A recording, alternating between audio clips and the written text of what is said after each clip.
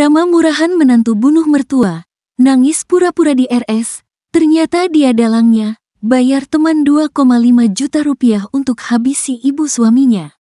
Aksi menantu bunuh mertua dengan menyewa pembunuh bayaran viral di media sosial. Ia sempat membuat drama dengan menangis histeris di rumah sakit saat ibu mertua meninggal dunia. Sosok menantu tersebut berasal dari kota Kendari, Sulawesi Tenggara, berinisial ND. ND menjadi dalang di balik kematian ibu mertuanya, M, 52 tahun. ND juga nekat membayar teman prianya 1,5 juta rupiah untuk memuluskan rencananya.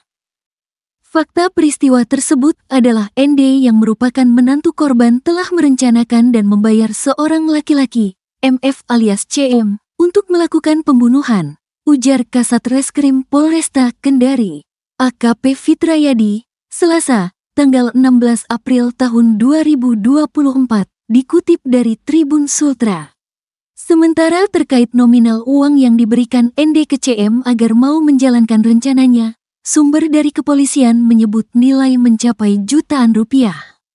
ND memberikan uang ke CM saat hari kejadian naas tersebut dialami M pada tanggal 7 April tahun 2024 lalu.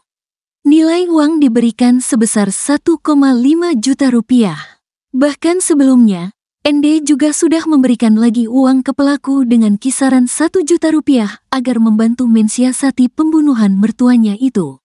Jadi uang itu sudah dikasih ini perempuan sama pelaku sebanyak satu juta setengah pada waktu kejadian, ujar sumber dari kepolisian yang enggak disebutkan identitasnya.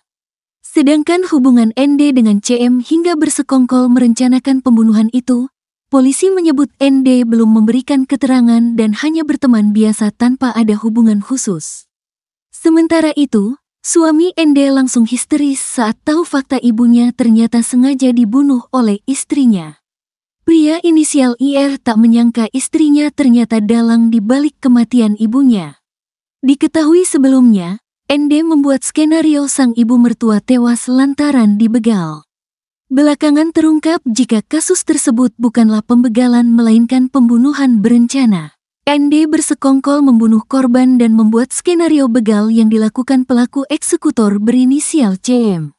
Saat ini, ND dan CM masih menjalani pemeriksaan di ruang reskrim Polresta Kendari. Suami ND, IR mengungkapkan jika sang istri tidak menyukai sang ibu yang menjadi korban pembunuhan berencana hingga meninggal dunia dengan sembilan tusukan. Ia menjelaskan istrinya tersebut tidak menyukai ketika IR berkomunikasi dengan keluarganya. Memang ini orang, tidak mau kalau saya berhubungan dengan keluargaku, jelasnya.